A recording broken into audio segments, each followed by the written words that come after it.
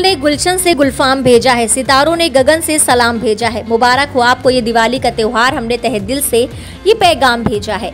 Dinesh Singh Yadav advocate प्रतिनिधि अध्यक्ष, आदर्श नगर पालिका, तालग्राम। पूर्व नगर पालिका अध्यक्ष, आदर्श नगर, तालग्राम की ओर से सभी देश एवं प्रदेश वासियों जनपद वासियों क्षेत्र वासियों को धनतेरस, दीपावली एवं भैया दूज की हार्दिक शुभकामनाएँ व ढेरों बधाइयाँ।